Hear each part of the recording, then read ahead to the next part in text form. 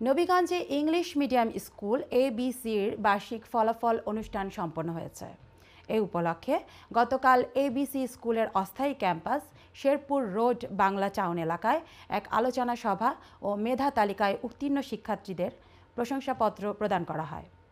নবীগঞ্জ থেকে সহকর্মী মোহাম্মদ আলমগীর মিয়া জানান এবিসি স্কুলের ডাইরেক্টর মোহাম্মদ সোহেল আহমেদের সভাপতিত্বে এবিসি স্কুলের শিক্ষক রায়হান আহমেদ ও আমেনা সুলতানা মৌর যৌথ পরিচালনায় উক্ত অনুষ্ঠানের প্রধান অতিথি হিসেবে উপস্থিত ছিলেন নবীগঞ্জ পৌরসভার সাবেক মেয়র অধ্যাপক তোফাজ্জল ইসলাম চৌধুরী।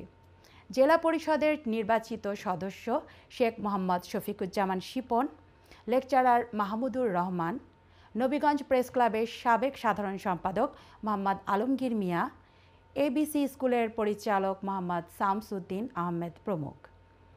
এ সময় অতিথিগণ ক্লাসের প্রতি সর্বোচ্চ মার্কপ্রাপ্ত ছাত্রছাত্রীদের হাতে প্রশংসাপত্র তুলে ধরেন।